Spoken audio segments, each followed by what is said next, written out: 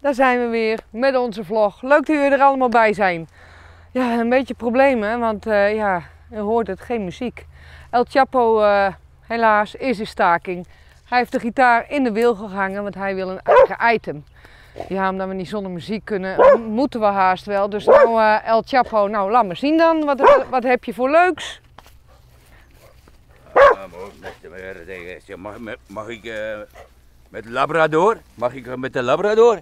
Ja, El Chapo, nou de inburgeringscursus gaat nog niet helemaal geweldig, want dat is toch geen Labrador?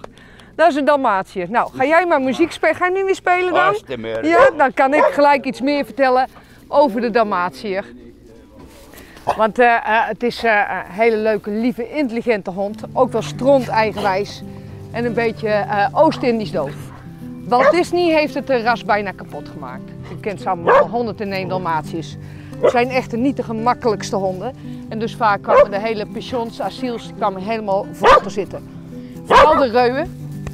Die hebben nogal, een nadeel daarvan is dat, dat ze nogal een beetje dominant kunnen zijn tegenover hun uh. En dat zie je bij hem ook. Hij heeft net een klein knoppartijtje gehad met Jibbe de Wettergroen.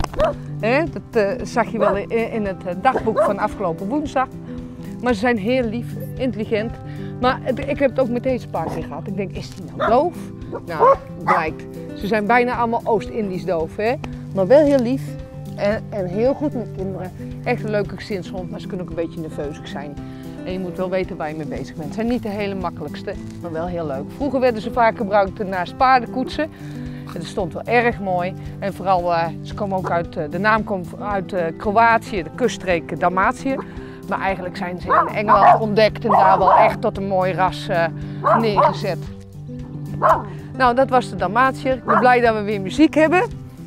Ik wil nog even wijzen, we gaan zaterdag 3 september is er in Veenendaal, Pionierskwartier uh, uh, dicht bij de Nijverheidslaan, is er een dieren-event.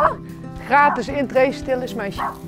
Dus gratis intree en allerlei leuke stands voor dieren. Kinderen kunnen gesminkt, er is van alles. Dus ik zou zeggen, als je in de buurt van Veenendaal woont, ga even kijken. Wij zijn er ook, want we gaan in ieder geval een vlog maken. Dus het wordt hartstikke gezellig. Hè? Dit was weer een vlog voor deze week. Kort maar krachtig. De tip was dus een dierenevent in Veenendaal. We zijn weer vrienden met El Chapo. Ik ga hem even wat te drinken geven. Hè. Kom maar, daar gaan we. Bedankt voor het kijken allemaal en tot uh, volgende week. Oh, wat krijgen we nou? El Chap, El Chapo, gaat het? Uh, was goede tackle. Kijk, dat klopt wel. Dat was een tackle. Ah, kom maar. Nou, ik uh, lap hem weer even op. Bent u de volgende week allemaal weer bij? Abonneren en liken. En tot de volgende keer. Doeg!